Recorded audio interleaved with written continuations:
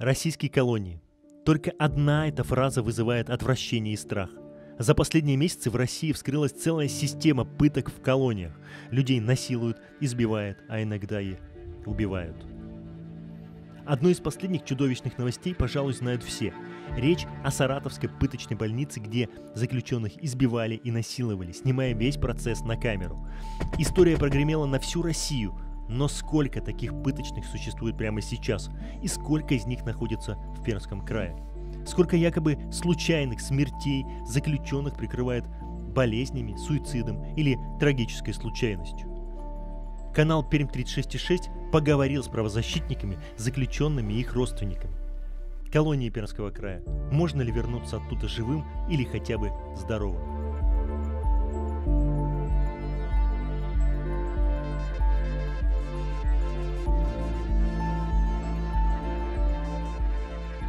Здравствуй, дорогая мамочка. Как твое здоровье, дорогая моя? Как у вас дела? Отвезли меня на десятку в этом часовом, это в часовом, только чуть дальше. Сейчас в карантине две недели. Выхожу на работу на промзону. Вроде все наладится. Как день рождения встречал. Да только приехал в этот день, даже не заметил. Как там Женька? Когда свадьбу собирается играть? Отцу привет передай, до здоровья. Выйду в лагерь с карантина, напишу. Береги здоровье, мамуля, очень тебя люблю. И очень соскучился. Я буду стараться измениться. Люблю тебя очень. Твой сын Саня. И мамуль добавлю, я исправлюсь, обещаю. Извини, что я у тебя такой непутевый. Сам виноват и сам не досмотрел, что да как. Вот такие дела. Я люб, люблю тебя, мамуля, очень-очень. Пиши, мамуля, жду письма, мама.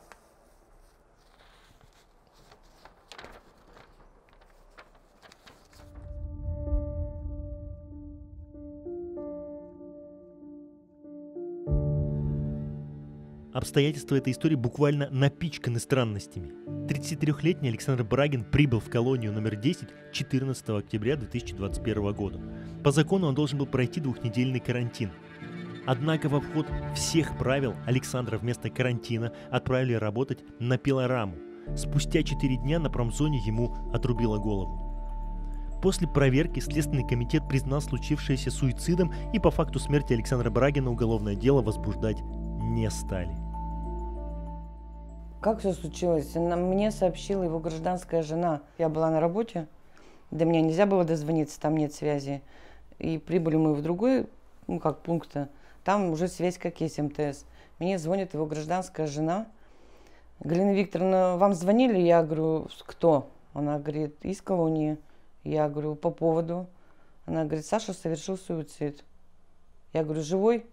Она говорит, нет, в морге. Почему суицид? Я не знаю, почему они так сказали. Ну, понимаете, сердце матери все равно это не обманешь. И когда мы его забирали, у меня есть фотографии, мы его сфотографировали. Там видно на лицо, что это не суицид, это убийство. Я даже его еще не, мы не забирали, когда я, я уже знала, что это убийство. Потому что Сашка любил жизнь.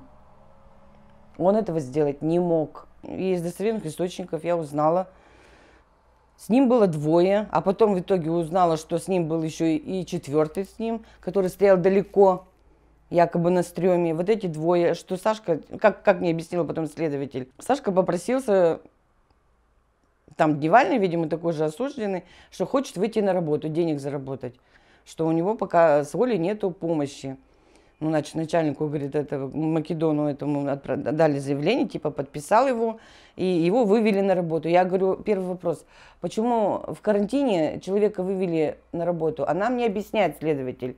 Они могут хоть из карантина, хоть кого, их из карантина троих выдернули. Я говорю, это как так-то? Человек в карантине, значит, кого хотим, того и забираем, что ли? Вывели его, значит, на работу, вот. Они пошли втроем, вот этот вот э, Рейнджин, Масеев и вот Саша у меня сын. Те, видимо, давно сидят, как она мне объяснила. И они пошли вот на промзону в лесопильный цех. Он типа подметал тут, а эти двое там ремонтировали эти пилы, меняли, вот. Он потом что-то измерял вот тут, как постановление. Этот его Масеев, что ли, старший, его ему типа отогнал. Получилось так, что они, это, там двое настраивают, вот Масеев и Ренжин пилы, и они не видели, как он, услышали только, что включаются уже эти пилы. Увидели, как отлетает голова. Они не видели, что он ложится. Они не видели, что он включает. Хотя это, эти станки находятся как на расстоянии 5 метров, как она мне сказала. Ну как так-то? Он с вами здесь был, и вы этого ничего не видите? Ну такого не может быть. Здесь очень много несостыковок даже видавших виды, как я понимаю, осужденных, а, эта история потрясла. Возникает все-таки вопрос, да, то есть вот те, э, те сигналы, которые ну, вот я хотя бы пыталась посылать, да, в ГУФСИН, а, Управление собственной безопасности, в прокуратуру по надзорам, что что-то неладное уже происходит в этой колонии, да, то есть систематически, как результат, как вот вообще, то есть апофеоз вообще того, что вот можно представить, да, вот это случилось. Я хочу, чтобы вот эта вот причинно-следственная связь, все-таки следствие, да, то есть вот раскрутила эту, о том, что родственники обращались, о, о том, что ну, били во все колокола. То есть там надо проверять вообще все от и до. И силами, конечно, уже со всех, совсем других ведомств.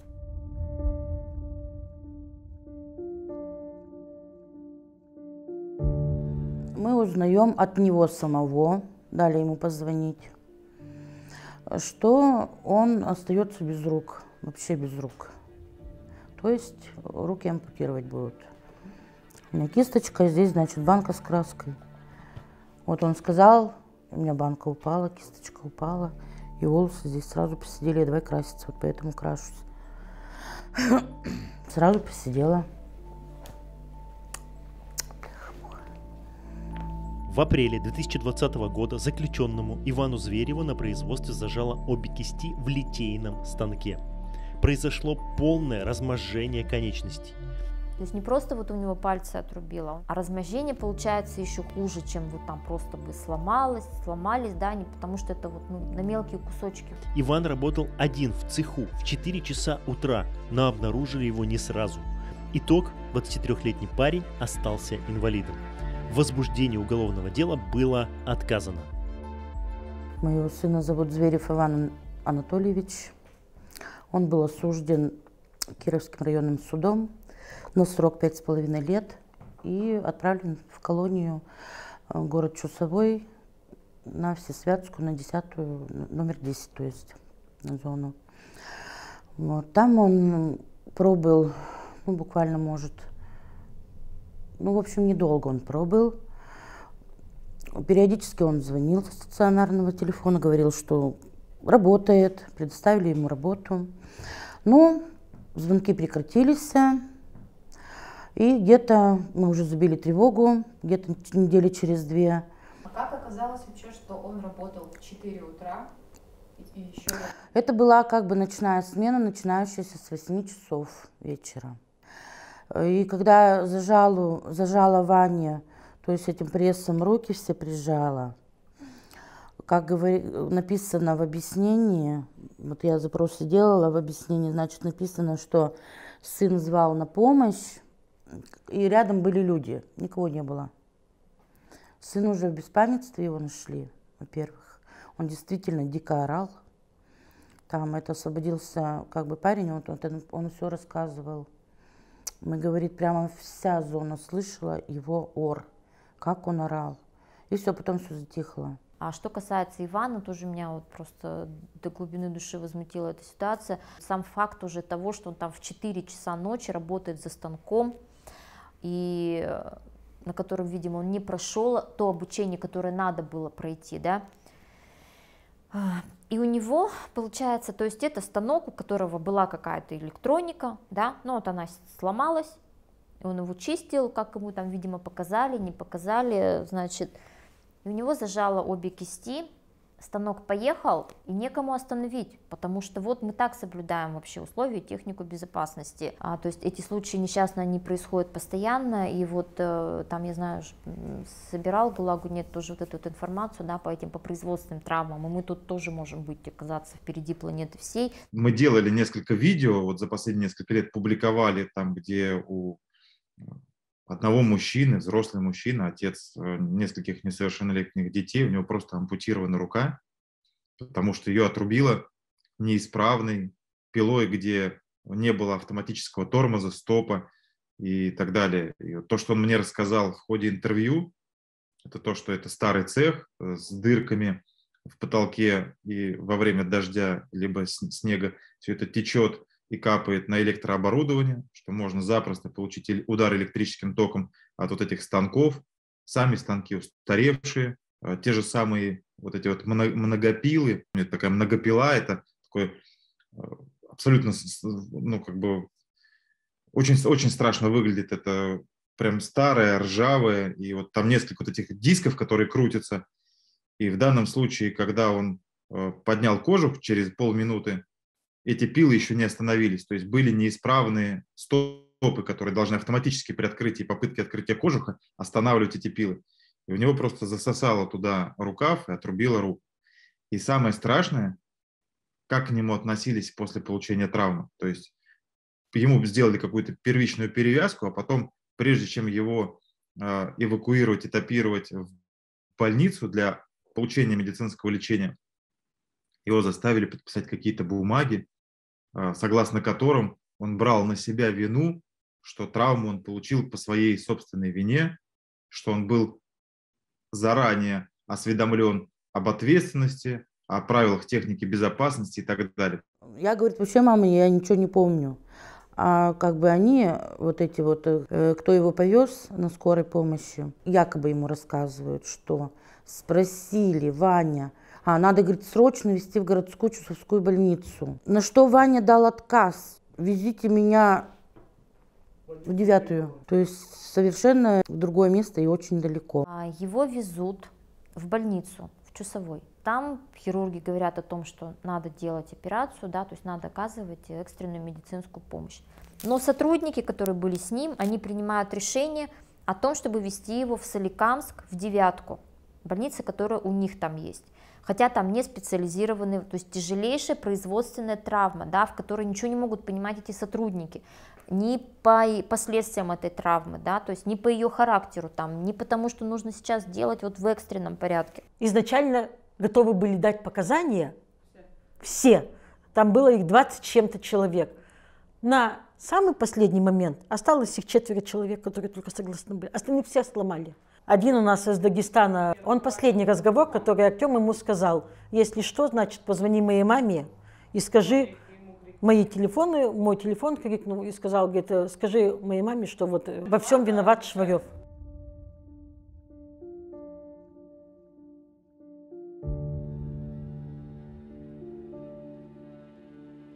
Утром 1 января 2018 года в ВК-37 молодого парня, бывшего ОМОНовца Артема Тронина, обнаруживают повешенным в собственной камере. Родственники фиксируют на теле мужчины многочисленные побои, поэтому сразу отказываются верить в версию о суициде.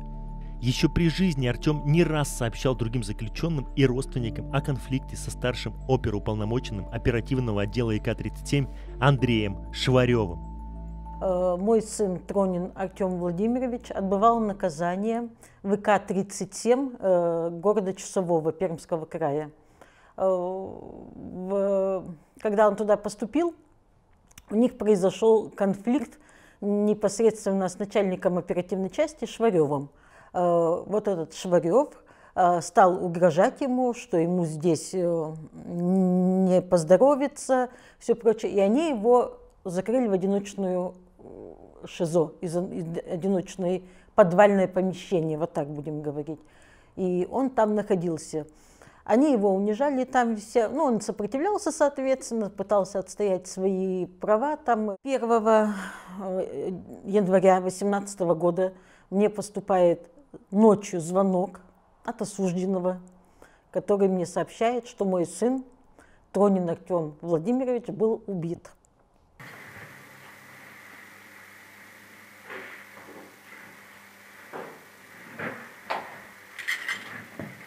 Здороваться-то у нас не приучились?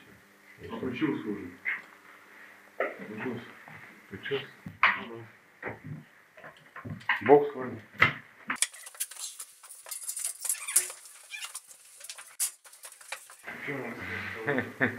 Ждем. Он сказал, поехали из Мусунгу больше. Все, махая. Словно вдоль по Питерской, пронесся над Москвой. Чего надо? Не знаю, не говорит, А это стишок на Новый год, подарок вообще, я так понял. Ну, Угу. я понял. Нары он хочет, а утром их поднимать не хочет. Когда научишься поднимать, да? Разучились мы их опускать. Я бы еще матрас не думал. Вон он тоже с камерой выносится.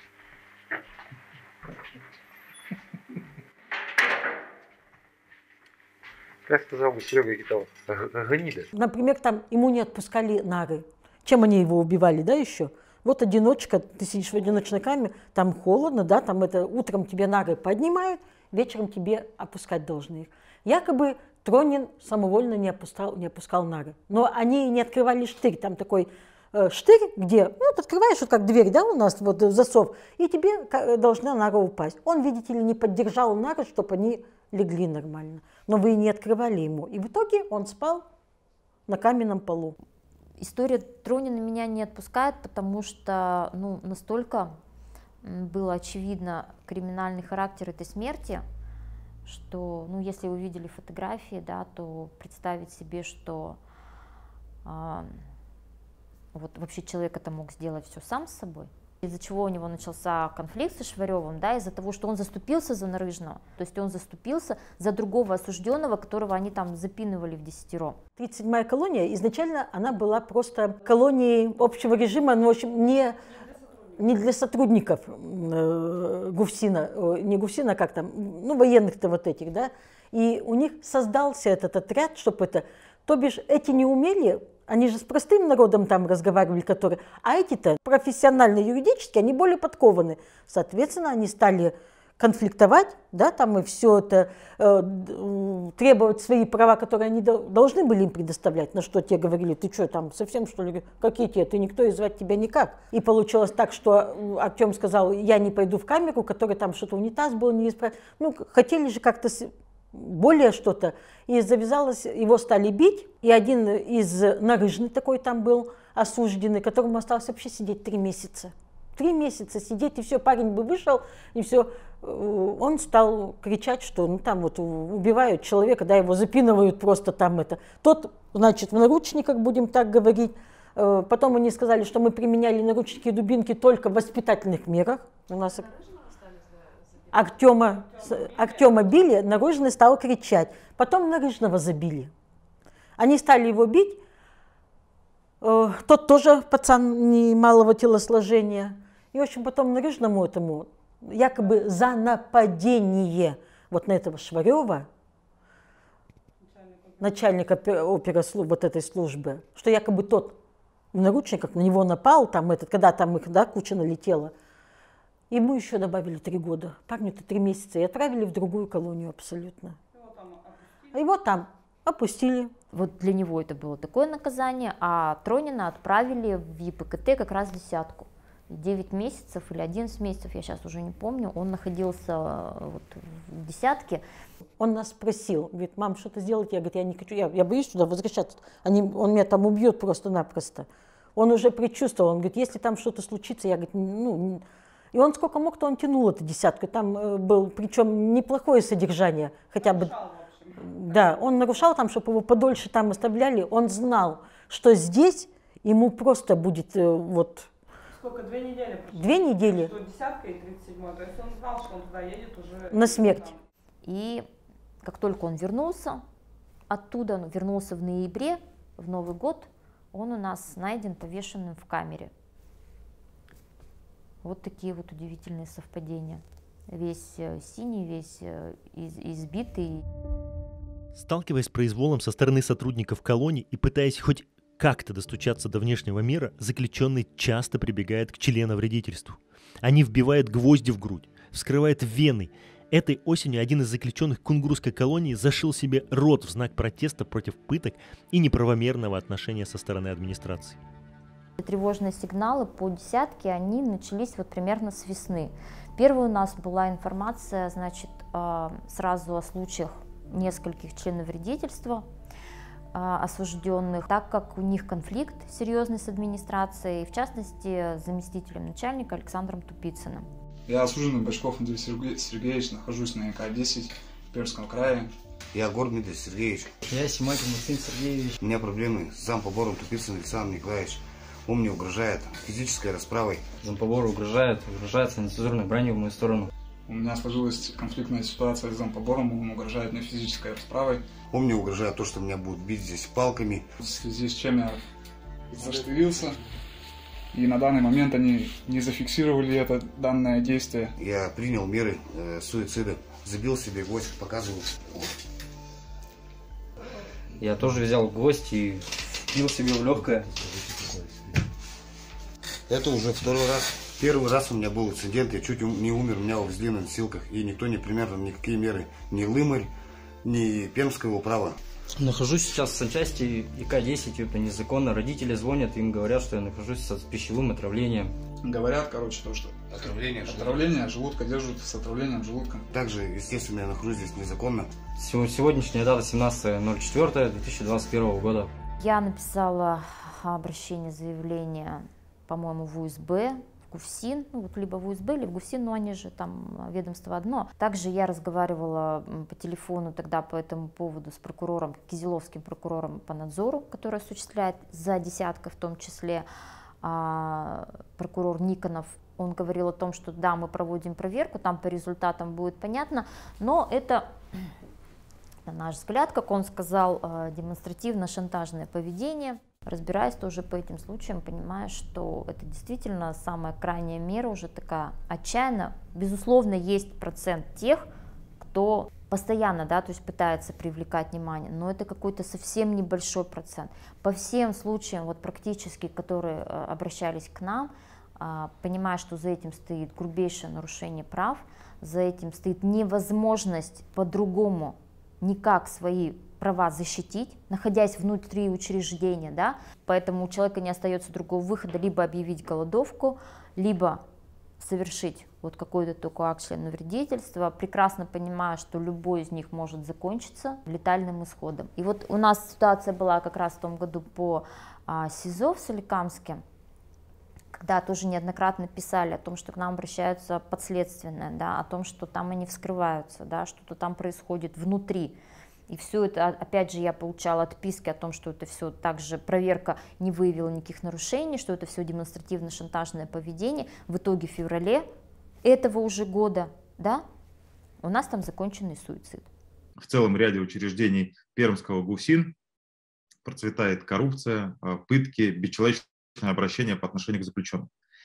И вот последние годы достаточно часто мы получаем на горячую линию ГУЛАГу нет тревожные сигналы, сообщения от родственников заключенных, от бывших заключенных, которые сообщают о том, что э, иногда людей избивают, иногда их э, заставляют уже после избиения работать практически без зарплаты, начисляя какие-то ну, формальные деньги, там 100 рублей, 200 рублей в месяц, формализуя каким-то образом трудовые отношения, но, по сути дела, принуждая а, заключенных работать в промзоне с рассвета до заката, иногда даже без выходных дней или там с одним выходным днем. То есть э, как бы действительно можно говорить о том, что в целом ряде учреждений Пермского ГУФСИН э, применяется рабский труд заключенных. К тем, кто отказывается работать, применяют начиная от мер дисциплинарного характера, закрытие в штрафной изолятор по надуманным причинам, в ЕПКТ, так и в непроцессуальные моменты, как оказание психологического давления, оскорбления, избиения, угроза изнасилованием и э, совершение в отношении неугодных администрации насильственных действий э, сексуального характера в возвращенной форме. Вообще в России пытками называют только то, когда швабры в задницу. Вот это вот считается пытками. А все остальное мы потерпим. Нет, вообще то, что, о чем пишут, это пытки. А, пытки – это то, когда ты работаешь там в три смены и получаешь 100 рублей в месяц. Это пытка, издевательство, унижение человеческого достоинства. Проблема в том, что самый секретный документ на зоне, один из самых секретных, это зарплатные квиточки. У меня, у меня есть куча копий мои, моих платежек, и за все, за все годы работы, пока я не начал, то есть куда-то обращаться, зарплата, то есть у меня составляла 300 рублей, там, 500, может быть, максимум. То есть это за полный рабочий месяц. 8 часов, 6 дней в неделю. Тимур, бывший заключенный ИК-1. Он согласился побеседовать с нами на условиях полной анонимности, поэтому его голос и имя изменены. Да, много заключенных сталкивались с нарушением прав, то есть администрация не обращает внимания на их слова, на их просьбы обращения, даже если эти обращения абсолютно законны. Когда уже было невозможно, не в МГТУ, да, бывать наказание, то есть в условиях, которых, в которых я был, я начал, соответственно, отстаивать свои права. Администрация говорит просто, не нравится что-то, закрывайся в изолятор. Осужденный должен работать как раб для администрации. Зарплату не платят, не пойду бесплатно на работу. Нарушение вот такого рода. Потому что, конечно, это незаконно оформлять на одну ставку, где реально приличная ставка, по 10, по 20 человек, которые трудятся в три смены. Конечно, это нелегально. И вне всякого сомнения этим должны заниматься трудовые инспекции. А я не знаю, почему а, трудовые инспекции – это серьезные, мощные, влиятельные государственные учреждения, которых боится весь бизнес, там, любой банк, а, любое предприятие, любая организация. Почему они не заходят в тюрьму, я не понимаю. Потому что и зарплаты, и условия работы, и отсутствие выходных, и отсутствие отпусков – это все их прерогатива. И они, конечно, в состоянии изменить ситуацию, вообще закрыть любую зону, любое производство. Безопасность на работе полностью нарушена у осужденных. Принуждают, конечно же, принуждают. Принимают всякого рода меры. То есть держат в холодных изоляторах, то есть где вообще невозможно находиться. Вот я сам столкнулся с этим, когда начал оставить свои права, когда мои права были грубо нарушены, меня продержали два месяца в холодном изоляторе просто в ледяном изоляторе. И прокуратура приезжала, и начальство все пермское приезжало туда, то есть как бы, то есть и ОНК приезжал. Вот только после ОНК что-то поменялось, но ненадолго. Там, потом снова меня посадили в изолятор, а так два месяца безвылазно просто привозили бумаги. То есть приносит инспектор бумаги и говорит, распишись, у тебя нарушение, распишись, у тебя нарушение. Вот так вот. Вообще на ИК-1 на ИК-1, вот я знаю, там не было никогда производства, там обучающий центр был, всегда обучающий центр. Там только было ПТУ, и вот этот центр создан был для того, чтобы якобы там практику проходить. Хотя там всю жизнь было производство, там мебельный цех, тарный цех, ширпотребка огромная. То есть, ну, не знаю, может что-то изменилось, но насколько я знаю, еще год назад это было, был учебный центр, а не промышленная зона мы проводили не только антипыточные, но и антикоррупционные расследования и проверки по учреждениям ГУФСИН по Пермскому краю. Мы за последние полтора-два года публиковали целый ряд материалов о том, что заключенные там выполняют работу э, в рамках гособоронзаказа в интересах Минобороны и целого ряда российских государственных ведомств. Э, работа это либо низкооплачиваемая, либо рабская и между колонией, которая является конечным исполнителем госзаказа, и заказчиком Минобороны, а сотрудники ФСИН, генералы и полковники, вставляют определенное количество прокладок фирм, а, собственно говоря, которые основную маржу и зарабатывают, э, и кладут все это дело себе в карман. То есть, еще раз подчеркну, заключенные получают мизер, либо вообще ничего не получают. Минобороны платит очень большие деньги за, ну, например, там, деревянные ящики для снарядов и так далее, и так далее. Вот. А вот эта дельта между высокой э, закупочной ценой Министерства обороны и рабским трудом заключенных, все это ложится в карман коррумпированных полковников, подполковников и генералов. Все, что касается именно вот системного рабского труда и размещения в учреждении, э, в промзоне учреждения какого-то а, цеха по производству чего-то в интересах какой-то фирмы, все эти э, так называемые бизнесы, они 100% подконтрольны руководству ГУФСИН по Пермскому краю, они об этом знают в ОСБ ГУФСИН по Пермскому краю.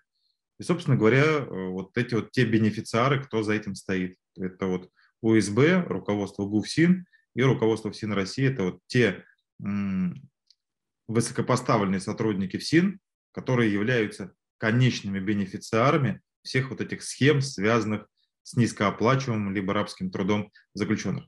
А что касается получения производственных травм, то здесь самое, самое страшное, что большинство травмированных э, заключенных не получали никаких компенсаций от государства, не получали каких-то серьезных страховых выплат, они просто получали эти увечья, и часть из них даже оформлялись путем служебных подлогов как бытовые травмы, потому что большая часть вот этих трудящихся и травмированных заключенных, они даже не были оформлены официально.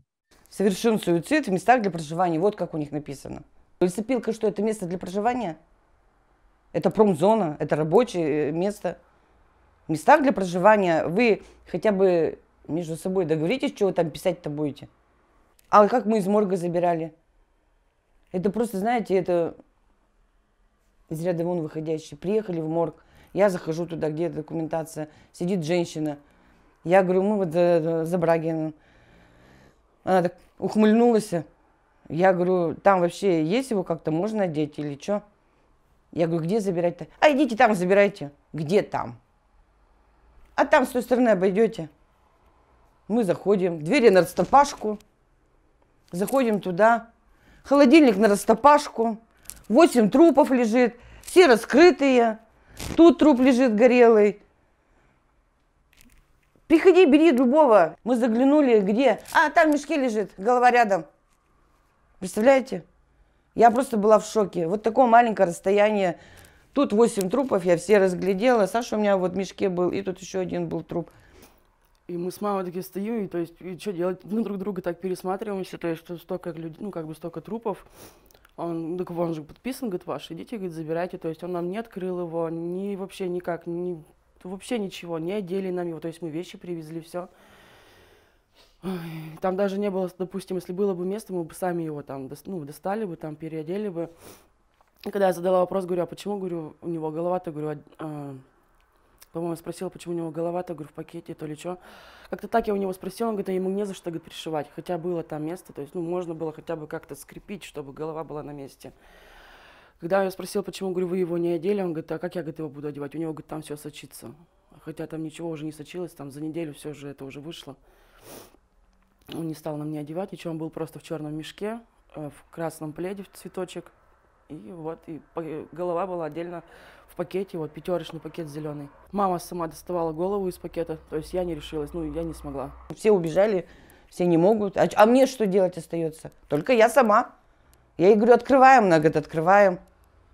Пощупала руки, ноги, пощупала, голова рядом.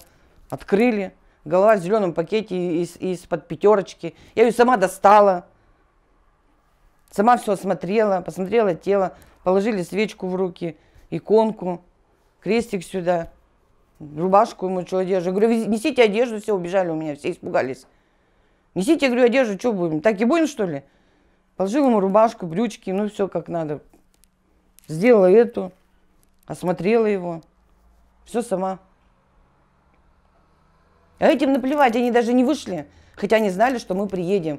Я им звонила заранее, что мы приедем в пятницу 22 числа утром. У меня просто столько злости было. Такое отношение к людям скотское просто что к покойникам, что к нам, живым людям. Биологический мусор. 3 числа поехали в морг. Ну, нам потому что сказали, что он там, что его пока не будут не вскрывать ничего. Ну, там мы попали в этот морг. Конечно, страшно какие нам нашли мы там Артема, избитого. Нашли мы его не сразу. Договорились с мужем, Зашли вдвоем с Светланой Александровной трогать, соответственно, стали, она в машине сидела. Скрывали каждый мешок, вот он ходил, скрывал, скрывал, скрывал.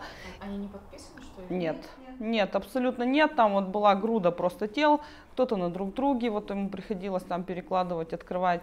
То есть нашел он э, тело не в мешке, хотя мы до этого э, задавали вопросы и сказали, что морг не работает, вскрытие не производится до 7 числа. Мы были уверены, что он еще как бы не вскрытый.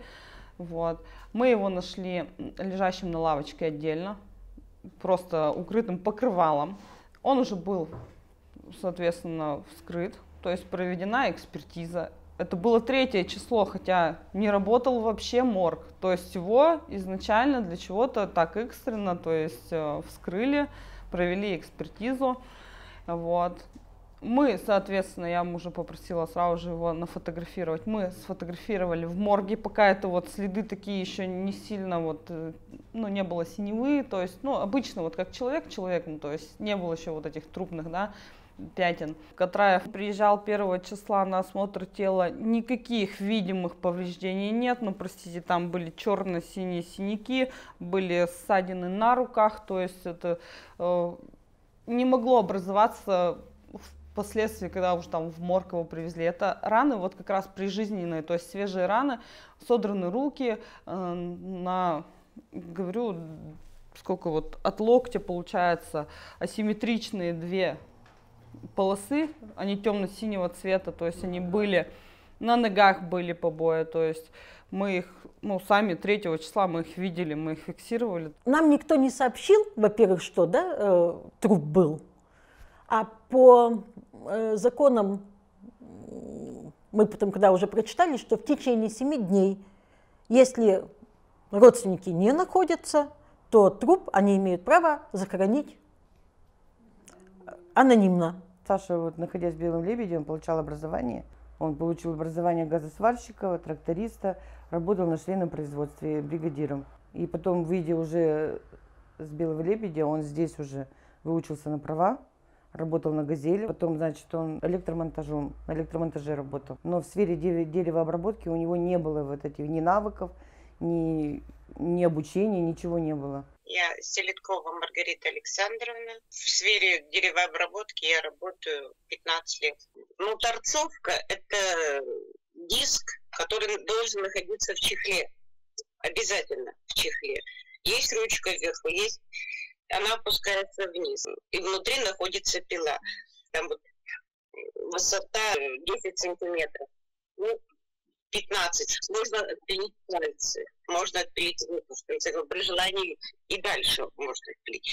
Но это руку, но чтобы голову туда запихать, это, это брус туда тяжело запихать. Голова ну никак туда не, не может попасть.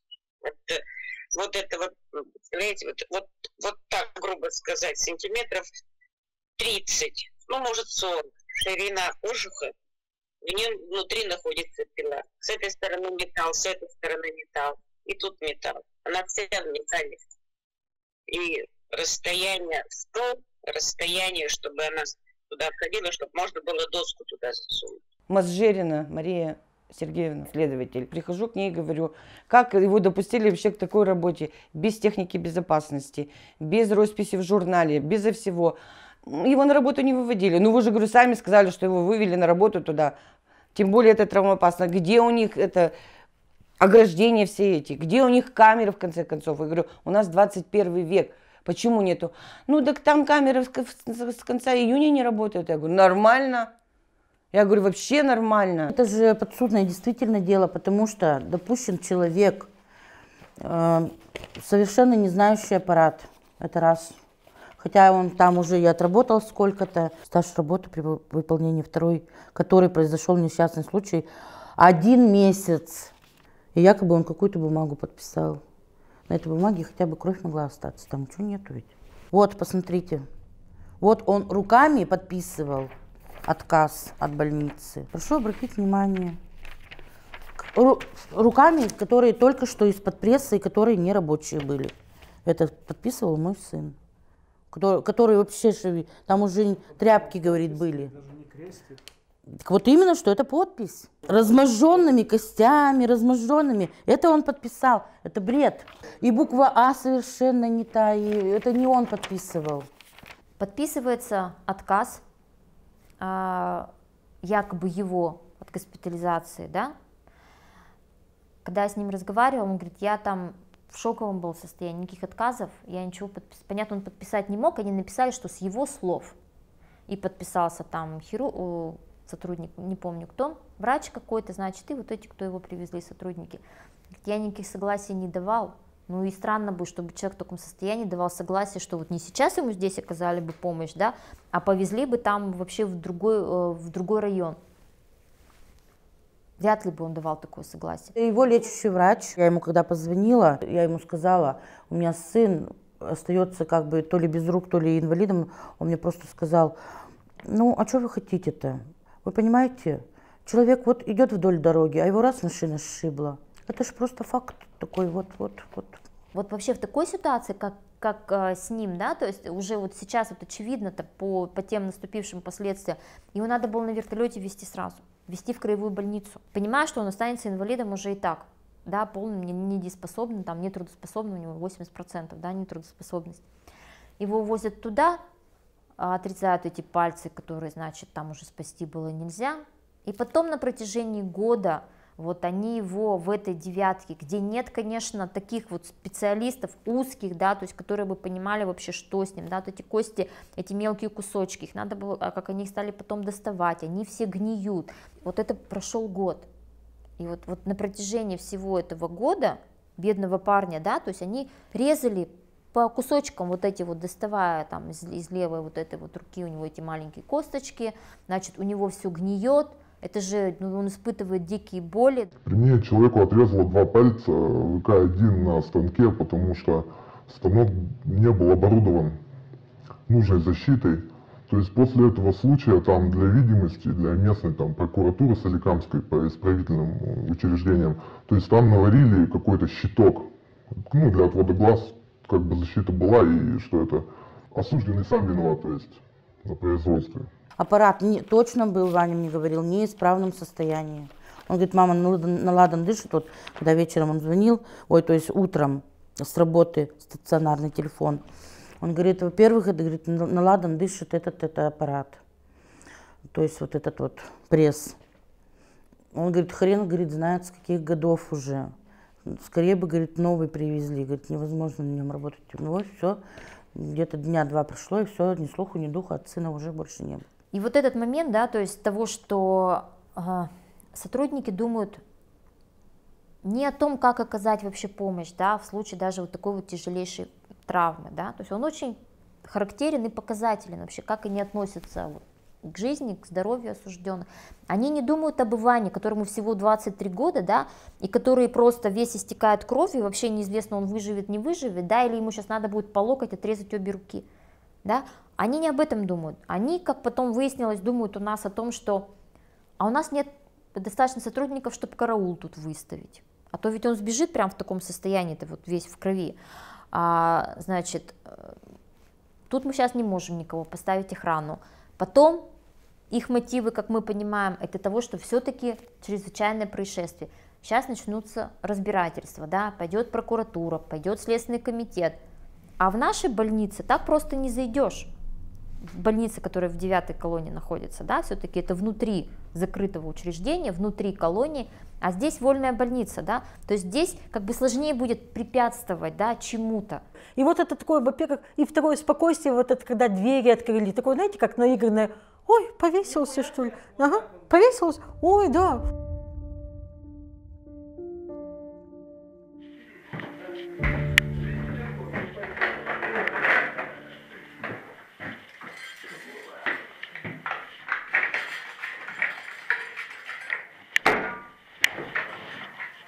Опа!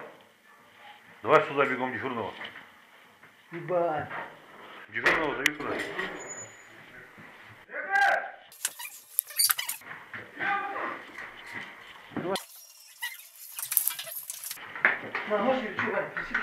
Давай бегом. Я там натолкал туда что-то еще. Он натолкал туда. Что сделал? Натолкал замок.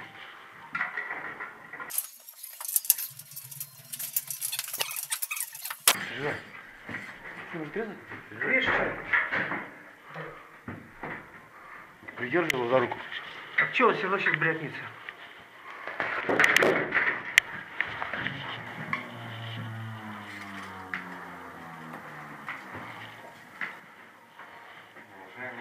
А, ты позвал дежурного? Че, где он? Давай медиков сюда зови.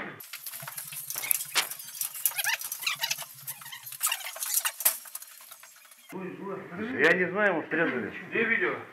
Вон, все включено. Работает? Работает. Че?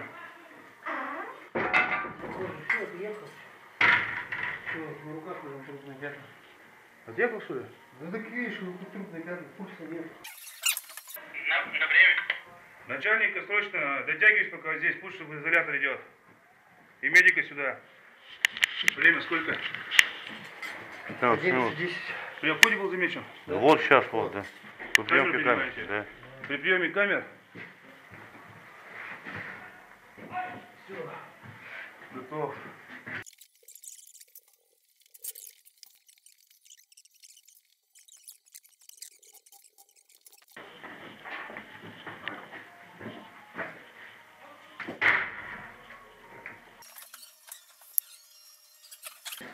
Холодный? А? Все теплый. Время. Сколько? 11-15. 11 15 Давно или нет? Да нет. Он теплый. Я тебе говорю. Еще теплый. Какие-то они все спокойные. Медсестра пришла, она вообще даже не попыталась, хотя один говорит, что он теплый. Помощи никакой нету. Логично же, что ты видишь, человек висит, ты начинаешь решетку открывать. На что мне сказали, он не мог открыть, решетка была забита щепкой. Я говорю, подождите, какой, откуда вообще могла щепка появиться? Ее же надо отковырять от пола. А у него нечем, у него даже ручки не было, чем писать. Чем он ее отковыряет? Я нашла этот, эту дощечку, где были так четко, ровно срезаны. Не оторваны, вот если бы он отковырял там ногтем, да, щепки, они были четко срезаны. Далее следователь как бы, ну, не удосужился, что ли, проверить замок. А я знаю, что замок, он там пустой, ключ он один везде подходит, скороход называется. Мне э, человек, который открывал камеру, он как раз дежурил, вот он обнаружил тело, я ему говорю, а как вы в дальнейшем открыли решетку? Он говорит, так очень просто, и показывает мне вот эту отмычку, и сбоку просто убирает собачку. То есть никакого труда-то бы не составило сразу же среагировать. Они нам говорят, это человеческий фактор, что они испугались, поэтому у них замедленное все было. Вы работаете в системе ГУФСИНа, где у вас психологически вы проходите тесты, когда вы должны реакция срабатывать, что вам спасти, например, да, да, сколько он там не висел бы, сколько не, но вы должны его попытаться откачать где-то чего-то. Там видно четко, с регистратора он подходит вот так, И отрезает. режет, и он как Падает. И так, «А-а-а». Да, и воздух выходит. Скорее всего, вот эти 12 минут, которые стали, его можно было спасти. И получается так, что вот они все дают разные показания.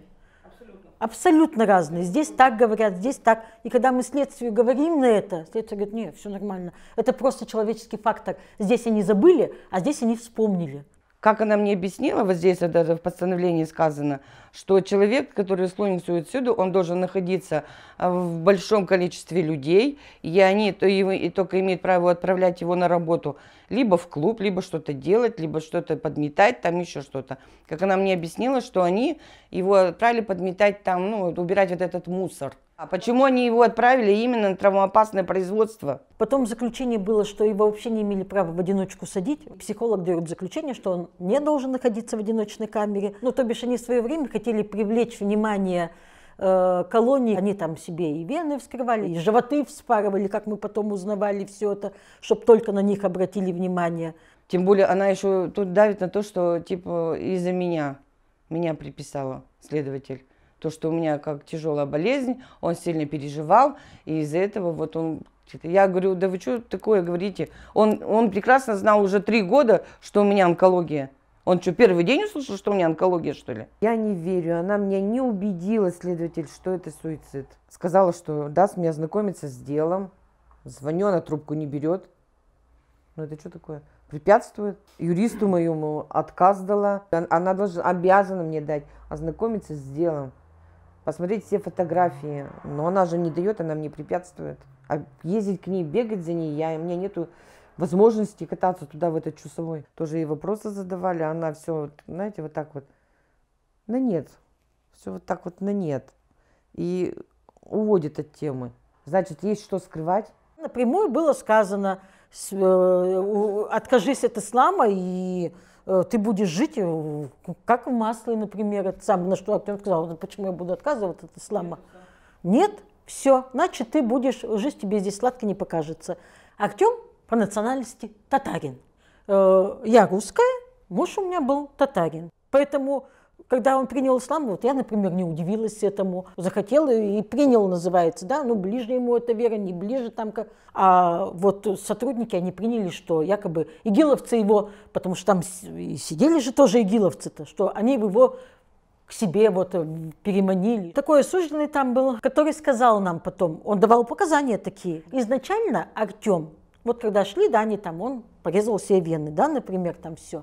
Но когда он принял ислам, он сказал, что хотите, то и делайте, но членовредительством я заниматься больше не буду. Я буду голодать, я буду, значит, протестовать каким-то другим способом, ну, голодом, потому что ну, он сильный был духом, будем говорить, такой все это э, разведчик, они там умеют же там не есть, там поскольку-то там это. Но членовредительства я больше делать не буду, так как я принял ислам. Он, значит, членовредительством не хочет заниматься, да, больше, ну, вешается. У него пили на, рана на лбу, и потом ровный срез. А потом следователь пишет мне в постановлении, тело лежит на спине, если оно лежит на спине, перпендикулярно пиле. Почему оно тогда по диагонали-то оказалось? И рука лежит, говорит, на этом, на каком-то рычаге левая, а правая вот так на животе. Я лег умирать, да, давайте вот так вот сам себе нажму и отпилю. Ну, ну, ну не смешно ли? Ну, вы сами подумайте логически. Сперва себе здесь рубану, а потом основательно. Это, это надо, как тоже сказано, что он лежал на спине, ручка находится наверху, это нереально. Утверждать конкретно я ничего не могу, но версия, что это без, не обошлось от без посторонней помощи. Здесь была посторонняя помощь. Это сто процентов убийство, сто процентов, потому что лично своими глазами я его видела когда забирали из морга. То есть у него большое рассечение на лбу, то есть это сразу же понятно, что не сам это сделал. И голова прямо ровно так отрезана была, то есть, ну, шов ровный, то есть если бы он как-то сам это, ну, все равно же не так лег, да, и там раз это, все равно бы какое-то, я вообще ожидала увидеть другого. Когда мне сказали, что суицид, то есть я же глаза его еще не видела, то есть, ну, изначально как бы, ну, так 50 на 50, может быть, я и поверила, что, ну, всякое, может, может какая-то депрессия была, еще что-то. Но когда я его увидела, то есть я вообще ожидала увидеть, то, что там все будет, раск... ну, лицо вообще как бы это... А то есть там все так ровно, все так идеально, то есть вот такое рассечение у него там на лбу. То есть его даже не зашили, это рассечение. Голова у него прям ровно так отрезана. Глаза у него были приоткрыты, нос у него сломан. То есть, когда вообще мы его уже в машину как бы, ну, поставили, то есть я уже сверху увидела, смотрю, у него нос-то в другую сторону вообще. То есть у него нос был сломан. Скорее всего, чем-то ударили или... То есть сначала оглушили, а потом уже все остальное сделали. Я говорю, единственное, что вот он, мне кажется, там с руководством был какой-то конфликт. И все. А там наверняка есть люди, которым приказали, они сделали. Потому что человек не мог сам это сделать. Он, когда вот его срезали, он вот упал, получается, и вот у него трусы и штаны, они вывернуты. Вы знаете, как будто вот когда человек, да, обмякший, и когда подтягиваешь, ты ну, выворачиваешь. То есть у него трусы были прямо вывернуты. Камера, ну как камера может э, в тюрьме, в закрытой тюрьме строгого режима не работать? Не работать в те промежутки времени, которые вот как раз очень важны для уголовного дела. Это вот как раз с 31 на 1. До этого, э, сейчас могу ошибиться, по-моему, 28 там полутора суток не работали камеры. То есть мы также заявляли ходатайство, также э, видео исследовалось на монтаж. Монтаж, ну, естественно, не обнаружен, невыгодно это следствие.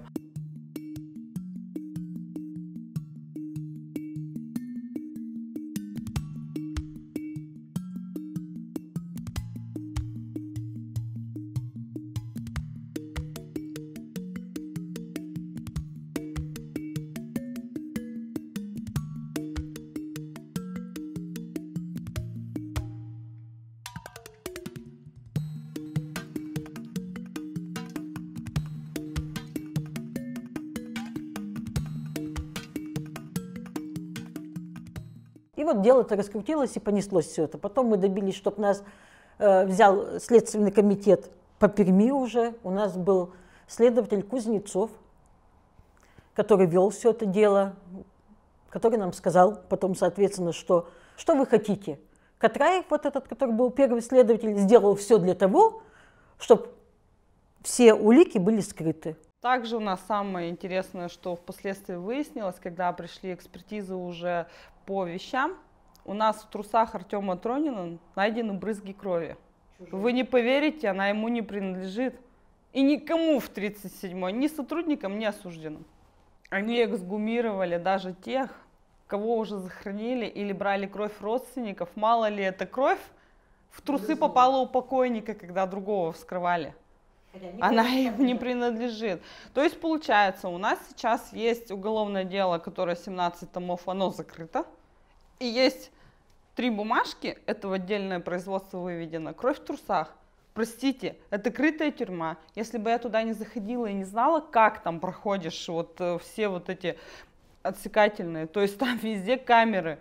Кто зашел в одиночную камеру, откуда у него в, в трусах, не на трусах, а в трусах, кровь, которая не принадлежит ни одному из сотрудников.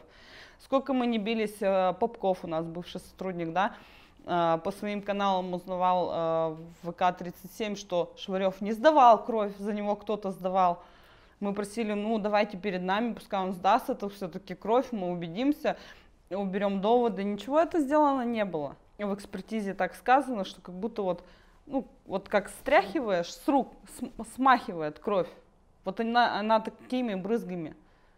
До сих пор у нас следствие, ну, не интересен этот факт. Кто мог зайти в ВК-37, у нас была эксгумация Артема по новой. Доставали его э, в апреле месяце. Достали, повторная экспертиза была независимая. Наш был непосредственно независимый эксперт э, Груховский, московский, э, значит, он сказал, что вот нашел, что над ним были при его жизни нанесены ему телесные повреждения в пределах суток до смерти. Или били, или он защищался. И вот этот Гроховский дает нам заключение, что было повешивание.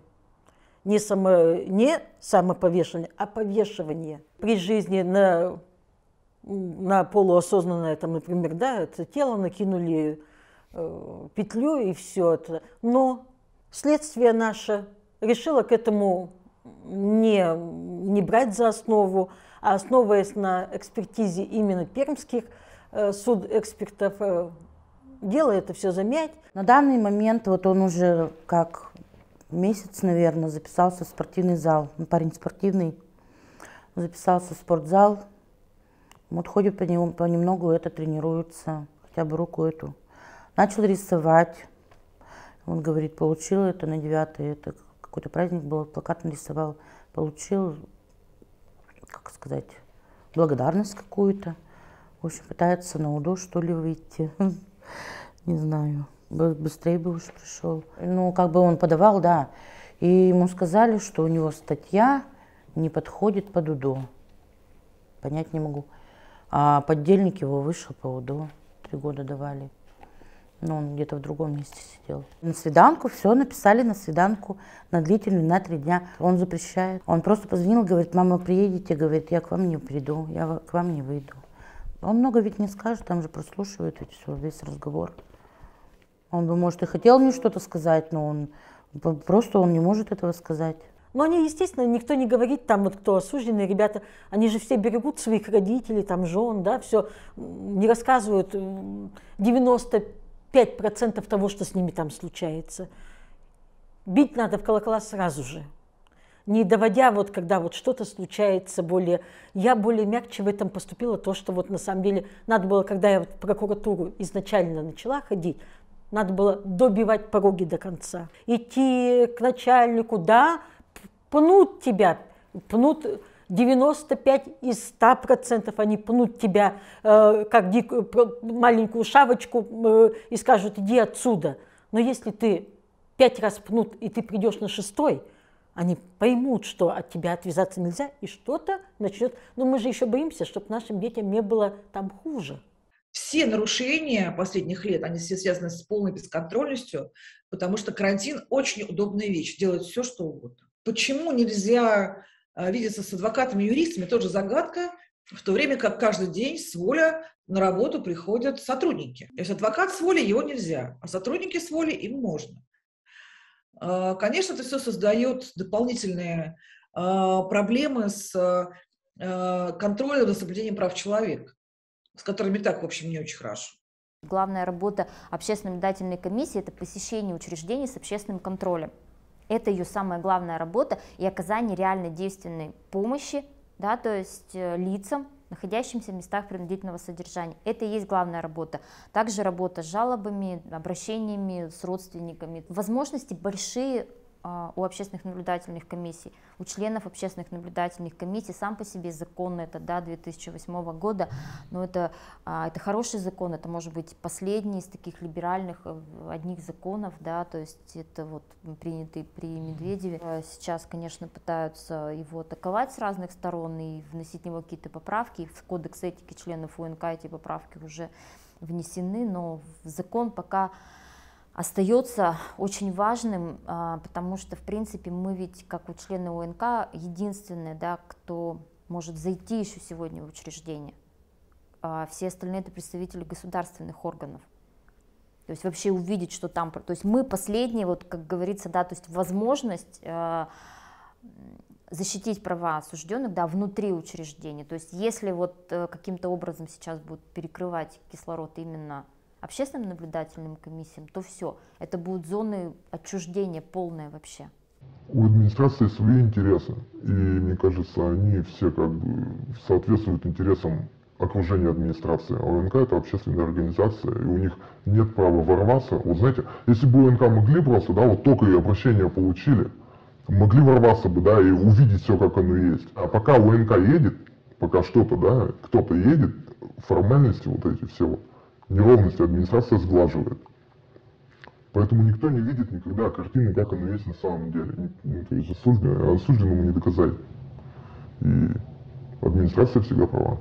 Я убежден, что э, работа огромной федеральной службы исполнения наказания, это более 200 тысяч сотрудников личного состава, более 450 тысяч заключенных, это более 700 учреждений в СИН во всех регионах России – это гигантская система, которая, которую невозможно перезагрузить, перестроить и реформировать за один месяц.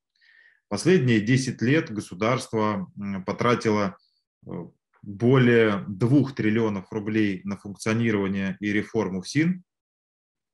Реформа это провалена, это теперь всем уже очевидно. Упущены эти 10 лет, и если бы у руля СИН 10 лет назад оказались бы не вот эти вот э, вороватые чекисты, а оказались бы эксперты в сфере защиты прав человека, которые действительно действовали бы бескорыстно и искренне, за эти 10 лет можно было бы избавиться вот от этого ГУЛАГа. Сейчас э, замена одного генерала силового блока на другого вряд ли приведет к каким-то кардинальным изменениям. И это говорят осужденные, которые до, сего, до сегодняшнего момента общаются со мной, звонят мне с таксофона, рассказывают, вот, допустим, пришел нормальный начальник, хороший, там все, да, может выслушать, но он не угоден. По нашим данным, да, а, по рассказам Попкова того же, да, что в принципе начальником-то всегда был Шварев. И когда приходит начальник, он же ведь не в курсе, что творится, по каким законам и правилам живут. Шварев уже сделал да, свою свиту, свои законы. То есть, когда приходит новенький, понятно, что ты будешь прислушиваться. Также его срезают. Все сотрудники в голос, которые срезают э, простынь, говорят, мы его там придержали, на камере видно, что они его срезали, и там, простите, везде вот эти вот батареи железные, а, уголок от лежанки, то есть он просто падает. Его никто не пытается держать, они уже знают, что все, ему уже не помочь. И вот такие вот моменты, если бы был хороший следователь, так он бы все в совокупности-то и, и расследовал, все эти недочеты. А получается, когда, еще раз повторю, системе это невыгодно, ты ничего, правда не добьешься. То, что творится на ИК-10, на этом, это полный беспредел. Родственникам и родителям заключенных надо просто объединиться, надо, наверное, такую организацию создать, чтобы вот объединиться, чтобы мы защищали вот права своих детей. Знаете ведь такую пословицу, рыба гниет с головы, а голова у нас что? Прокуратура, и дальше ниже поехали. Если это там творится, происходит и очень часто, значит, Македону кто-то покрывает. Правильно? А как нам обращаться тогда в прокуратуру, если это все идет оттуда? Вот как добиваться правды? Тогда придется и не в, Пер, не в Пермский край, это придется вплоть до президента писать, в Москву. Они думают, мы простые, вот. Ну да, мы простые, смертные, да, вот мы обыкновенные люди, матери. Но правда, ты все равно надо добиваться. У них тоже есть матери. Я очень, я вот, понимаете, я очень желаю, чтобы вот Македон и этот Тупицын испытали ту же боль, что я испытала. Очень желаю. Как говорится, не желай зла тебе вернется, а ко мне оно уже пришло. Я хочу, чтобы они это испытали. Вот я и говорю, что вот только вот эта вот безнаказанность, она у них порождает все новые и новые преступления. А, и люди, хотя бы раз совершившие, да, то есть уже такое преступление, вот как они потом вообще должны работать? То есть как, как это изнутри можно изменить эту систему? Я все-таки думаю, что эта система отражает в большей степени то, что происходит не там, а то, что происходит здесь, на свободе. Просто как, любое, как любая закрытая система, там это все в сконцентрированном виде. То есть чем больше диктатура здесь, тем хуже ситуация в армии, колониях. То есть это вот это, это кривое зеркало, которое полностью показывает вот в этом просто виде еще более страшно то, что происходит здесь у нас. Поэтому мы там систему не изменим, пока мы не изменим ее здесь. У меня забор упал нынче. Я же ему это все рассказываю, как бы он звонит. Он, что папа не, что папа не может? А папа привык сам все делать. А он работает с утра и допоздна. Когда? Один выходной воскресенье. То есть мы спим. Ну, я ему жалуюсь такая, он такой, ну ладно, мам, подожди, я приду, все сделаю.